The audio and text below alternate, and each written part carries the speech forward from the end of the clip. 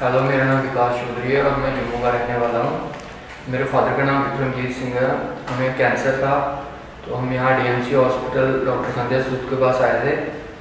Doctor Sanjay सूद काफ़ी cooperative है and उनका स्टाफ भी काफ़ी कोऑपरेटिव है। कोरोना के टाइम पे एक्चुअली काफ़ी डर लग रहा था हमें आते बट ऐसे कोई डर नहीं था। बिल्कुल नीट एंड क्लीन हॉस्पिटल है। पूरे स्टाफ मेंबर्स ने डॉक्टर से लेके स्टाफ तक बिल्कुल सारों ने मास्क पीपी किट वगैरह सब कुछ प्रॉपर थी सैनिटाइजिंग हर जगह थी। अगर किसी को भी कैंसर के रिलेटेड कोई भी प्रॉब्लम है तो डीएमसी हॉस्पिटल आके कैंसर केयर सेंटर आके अपना विज़िट कर सकता है।